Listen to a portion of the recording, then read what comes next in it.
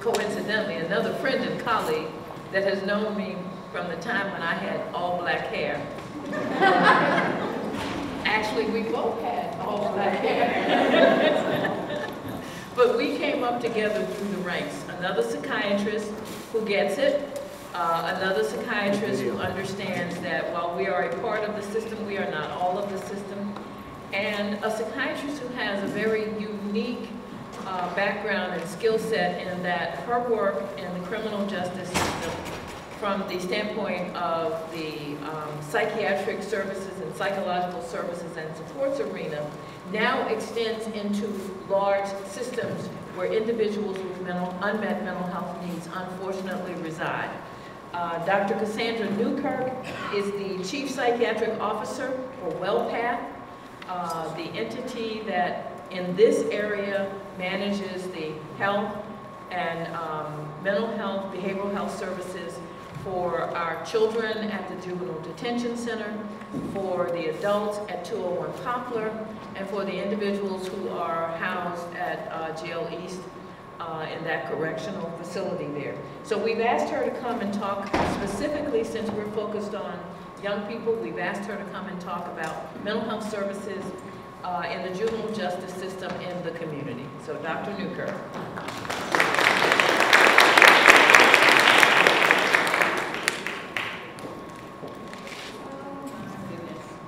Don't worry about it. It's not on yet, but I'm going to talk. Good morning. Good morning.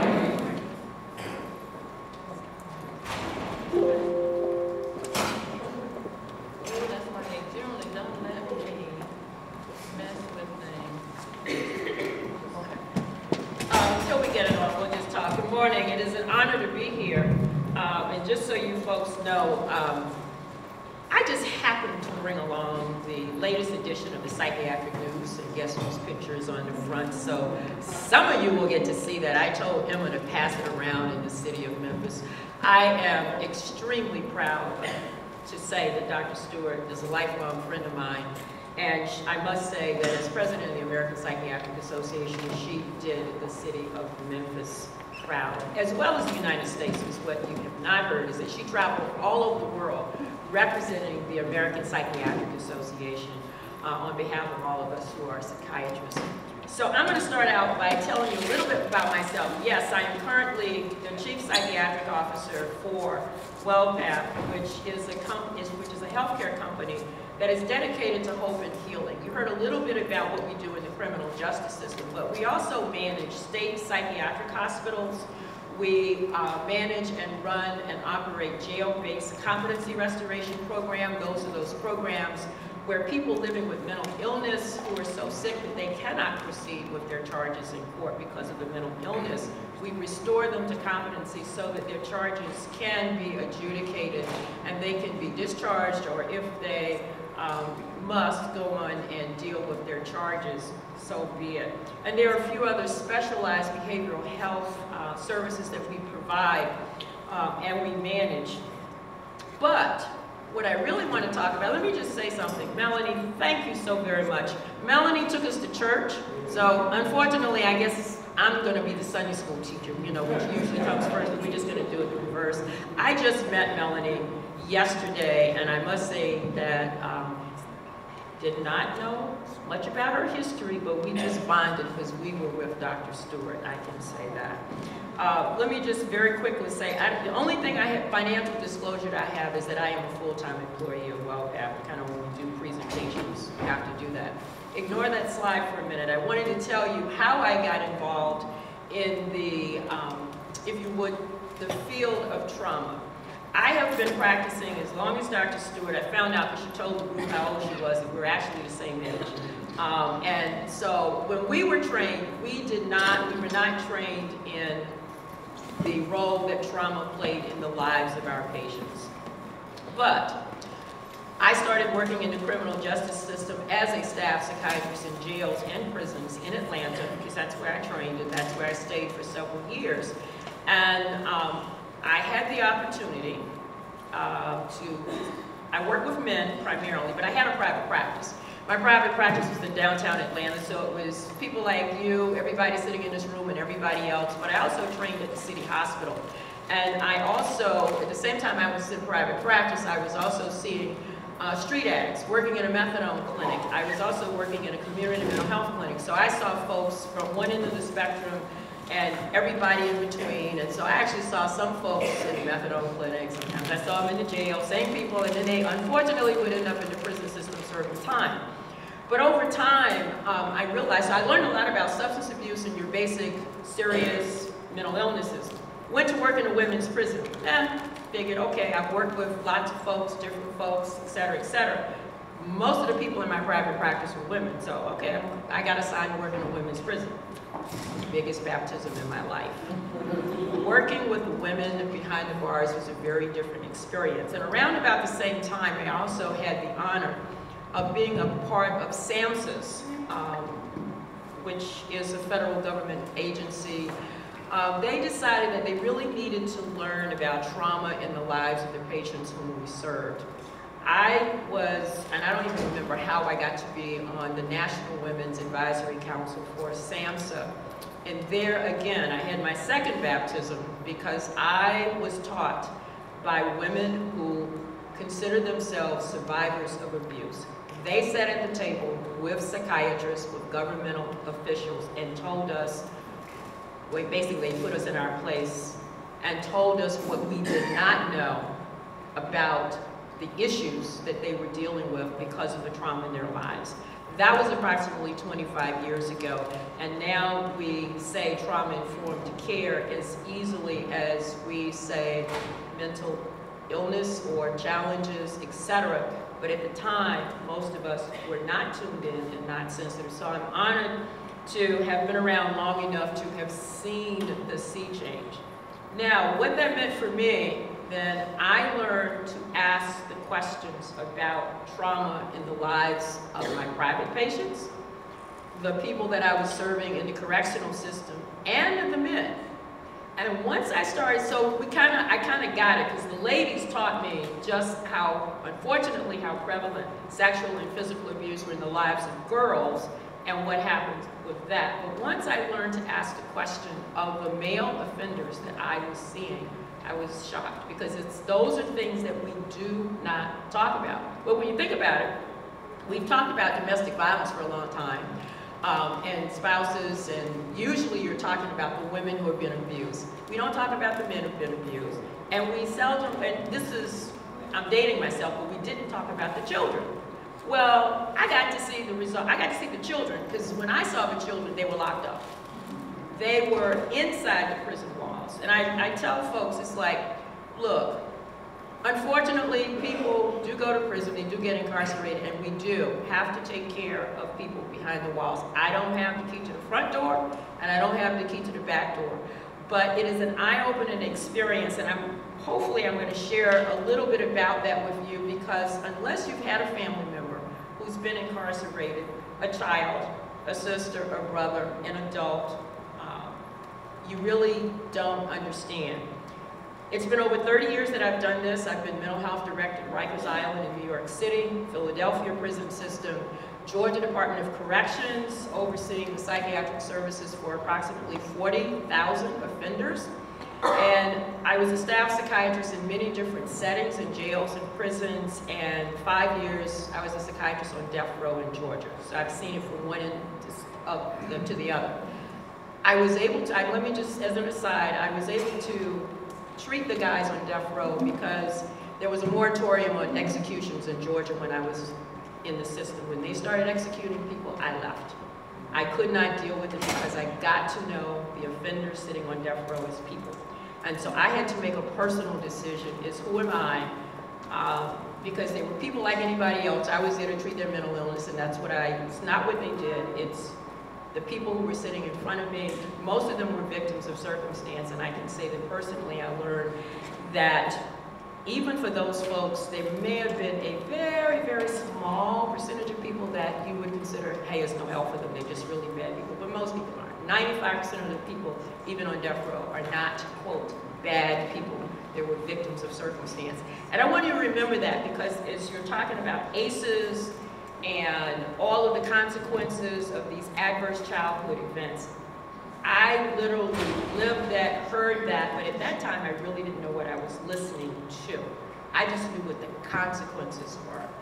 Um, imagine an inmate tried to kill himself, and my job as a psychiatrist was to treat his depression so he wouldn't kill himself so the state could turn around and kill him. To put it bluntly. I was like, that's a heck of a place to be. And like I said, personally, I decided I can't do that. And who am I? And then I've seen, and I got to talk to, treat people who had been exonerated, who had been on death row, and their cases were overturned. So I just leave you with that aside. Um, I've been blessed. I think I have had a uh, most varied experience. It was not what I had started out to do. I was going to be a pediatrician. Uh, decided that all the mothers needed help, um, and that's why I decided to be a psychiatrist. I never thought I'd be in the criminal justice system. Uh, but it has been a most rewarding um, experience um, to basically take all of my experiences and now I am at a place where I am that hopefully I can really make a difference.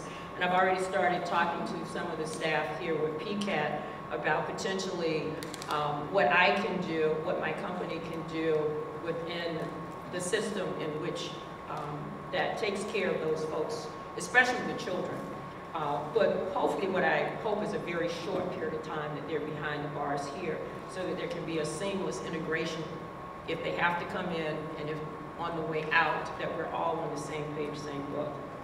But I want to talk about, let me talk about what's going on in the community. You're not going to see many statistics from me because I want to talk in general and leave time for questions. But let me just start out by saying that in the general, and in the general population of adolescents in this country, there are a lot of medical problems and we don't talk about it. And you heard Melanie talk about, we pathologize a lot of issues and we talk from the negative perspective. I didn't listen to the debates last night, but somebody said, I heard this morning, that we really don't have uh, a healthcare system in this country. We have a medical system. Medical systems take care of illnesses. Being healthy is a preventive system. That is healthcare, is talking about how to stay healthy, self-care, insurance, Medicare, Medicaid pays for sickness.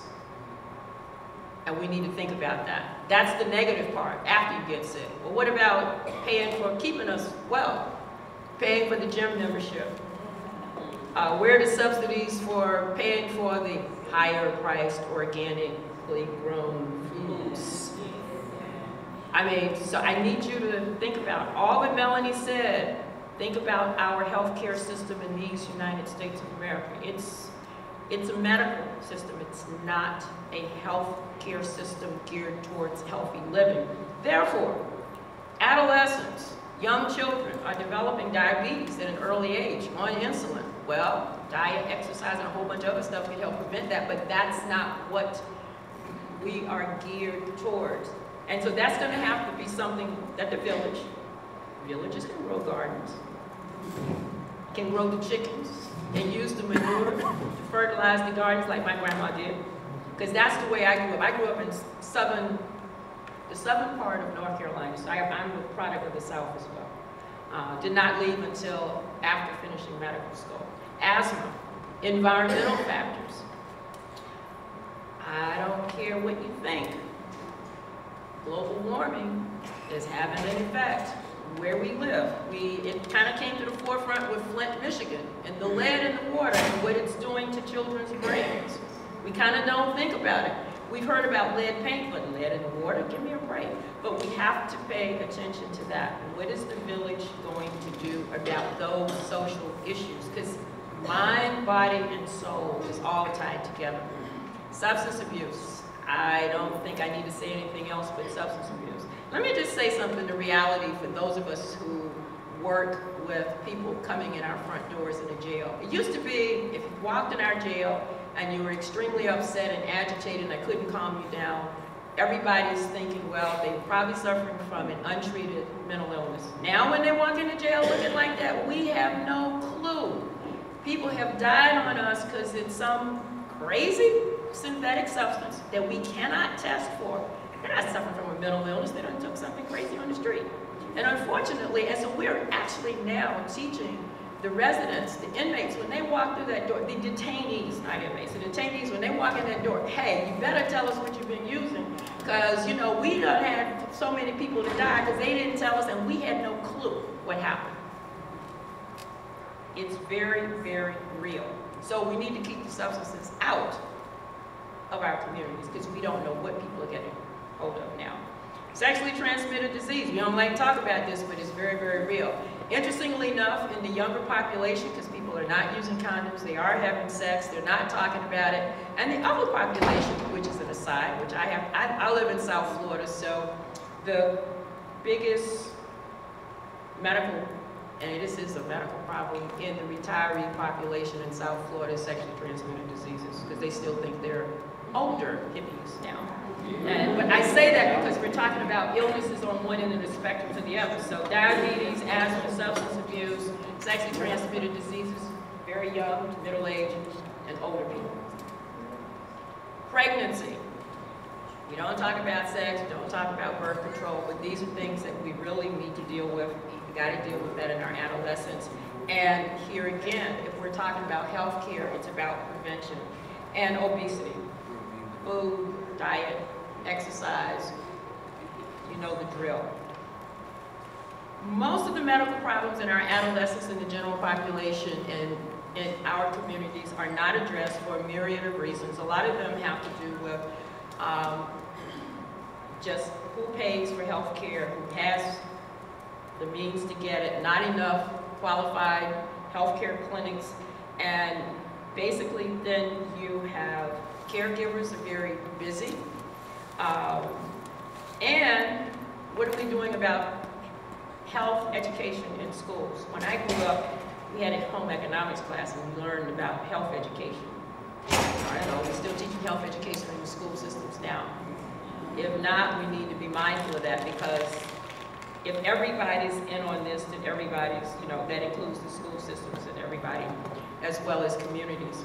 And again, um, we don't really address the substance abuse problem because a lot of our children are using the addictive substances and we don't know.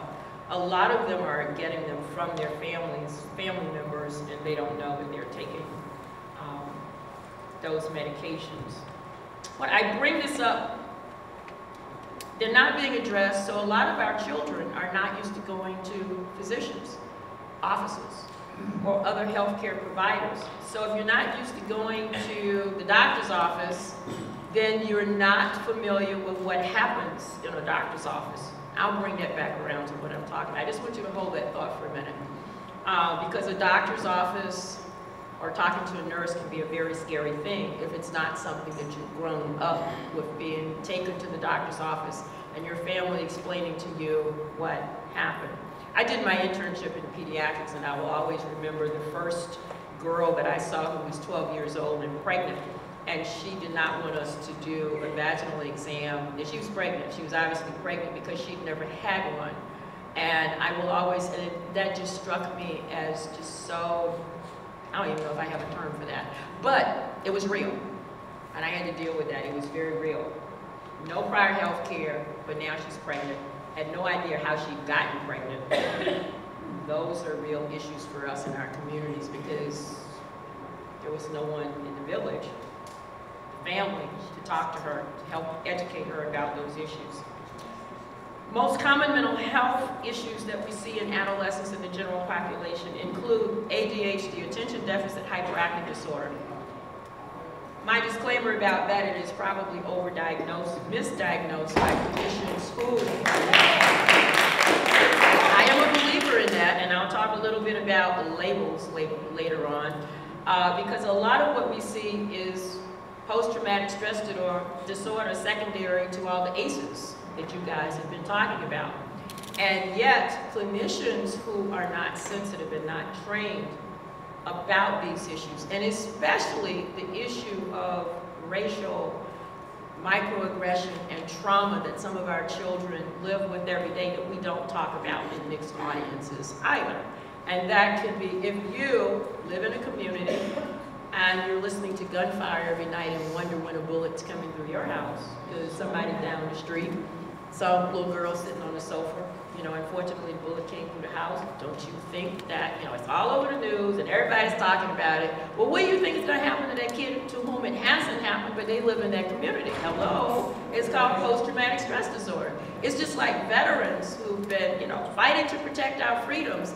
They have those same visualizations and traumatic memories, as does that five-year-old, you know. We really, really have to be sensitive to that. But ADHD, so a lot of folks that put on medications probably don't need those medications. let me tell you a real life story for me. So I told you, I had to learn about trauma in the lives of women. So I'm working in a women's prison. This lady was referred to me, oh doc, she's so sick, she's hearing voices, she's seeing things. She was on a lot of psychiatric medications when I got her. We started talking. And during one of my sessions, she dissociated in front of me. And what I mean is, she literally changed personalities. She spazzed out, and I'm using the term spazzed out because this is about the only way I, and she became somebody else, and I realized she wasn't with me. Her body was there, but it was like on the Starship Enterprise. We went on holiday, because she was somewhere else, and I'm sitting here. Well, I went to the psychologist because we were in the midst of being trained on the effect of trauma on people. And I went to the psychologist and I said, hey, you tell me you know a lot about trauma and dissociative disorder. I know a lot about medications and schizophrenia, and this lady is not suffering from schizophrenia, but I don't know what she has. By the time we got done, we figured out she had dissociated. We asked the right questions. She had been very traumatized. I was able to get her off of medications, get her in the right groups, get her what she needed to have all medications will stop, completely different diagnosis. But I tell you that story. So for kids that are being diagnosed as ADHD, and you're looking at behavior, but if you haven't asked the right questions, you know that old saying, you don't know what you don't know? So even as clinicians, if you don't know what the right questions are, which is why it's so important for us as clinicians to listen, but we're told all kinds of things about why we can't talk about uh, the things that have actually happened to us. Um,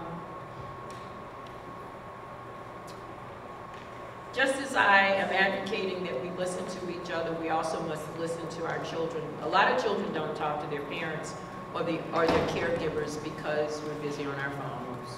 We're talking to somebody, we're texting usually, or we're looking at Facebook, and or if they do bring up issues, especially children to their parents, they are dismissed um, I remember my, who was it, my grandmother told me, I started talking about something, oh, you're too young to feel like that. That's what, you know, depending on who you're talking to, you may get those kinds. So if you hear that, you're not going to ever, as a child, you're not going to say anything else to that person again about what may really be on your mind. Um, discharge planning from the juvenile justice system, just like from a jail or prison with people living with mental illness or some sort, the justice system has to have the connections to the community. If I do good work, my staff, myself, we've worked with, we've reached out, we have a sense of what a child may need. We reach out to the community, but we need to have the community providers understand who's, who the clinicians are in, inside, and since we're talking about children at this point, inside the juvenile facilities, who they are, because a lot of them are you. Uh, the people that we hire are the people from the community, who are the professionals from the community. They're not people from the outside, they're people and a lot of them work part-time. The nurses, the doctors, the psychiatrists, the general medical, the pediatrician, the clinicians are your neighbors, your friends, your family members. They're the same people. They actually, a lot of them also, just like I did, worked in many different systems simultaneously. So we are sensitive, a lot of us, as what's going on in the community, but we have to be sure that they understand like what really is going on in the PCAT program so that whatever the community is doing in that system, those children. That doesn't stop. It doesn't have to stop because you're on the inside. And let me just tell you, those are some very sensitive officers. I met the jail commander yesterday, phenomenal woman who talked about her journey and how much she's learned. And let me just say, the officers over there, they're talking about trauma-informed care inside. And it even never, I mean, I was pleasantly, well, let's put it like this, they got it. So if they got it, everybody need to get it. And these, but the goal, I want you to understand, the goal is to keep your kids out. But if they gotta come in, let them be in it at one time and never come back.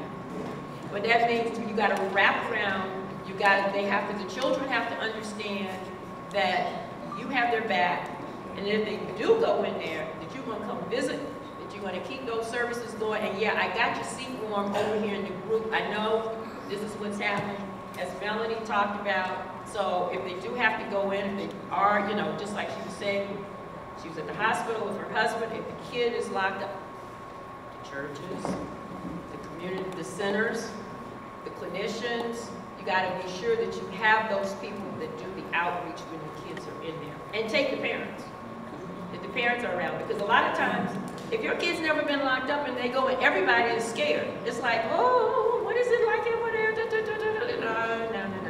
And actually, and let me just end by saying this, it was, it is a sad state of affairs, and I've had this happen to me, when a kid gets released and they don't want to leave. And they cry to the officers, I don't want to go. I've had women, I've had men who do stuff to get another charge because they didn't want to leave a jail because it was better behind the walls than it was back home.